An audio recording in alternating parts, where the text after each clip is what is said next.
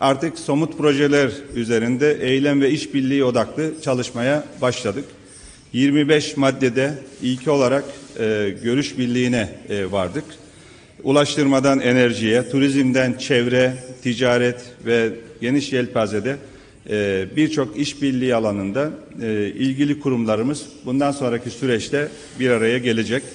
İmzalanacak mutabakat zabıtları e, ve tesis edilecek mekanizmalar aracılığıyla e, somut işbirliği projelerini hayata geçirme konusunda mutabık kaldık.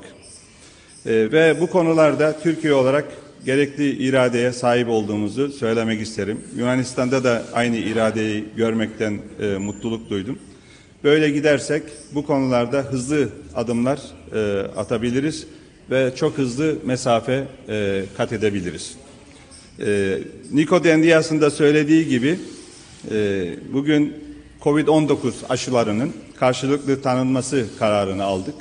Bu konuda Yunanistan'da Türkiye hem Türkiye hem Yunanistan farklı ülkelerle e, anlaşmaya ya da mutabakata varmıştı. Biz de daha önce e, yine e, AB üyesi olan Macaristan ve Bulgaristan'la ayrıca Sırbistan'la e, e, karşılıklı e, anlaşmaya varmıştık. E, ben inanıyorum ki bu bugün vardığımız bu mutabakat karşılıklı olarak turizm sektörümüze olumlu etki yapacaktır.